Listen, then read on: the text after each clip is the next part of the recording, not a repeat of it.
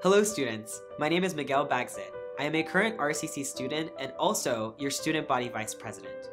So some of the services available to you if you can get involved with ASRCC include a student resources center, a textbook rental program, and a place where you can study in our student government boardroom. We also facilitate workshops and events in conjunction with other clubs and organizations on campus.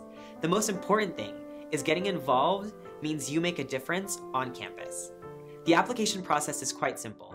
You can apply online by downloading the application through the ASRCC homepage under the RCC website. Or you can come pick up an application located in our Student Government Center. As soon as you're done filling it out, you can come back in and we will be in contact with you soon. If you want to know more about getting involved, you can visit us online or you can come to the Student Government Center located in the Aguilar patio adjacent to the cafeteria. Or you can speak to one of our advisors. Their offices are located in the second floor of the Bradshaw building in the Student Services Center. We are open from 8 a.m. to 5 p.m. on Monday through Thursday and 8 a.m. to 12 p.m. on Fridays.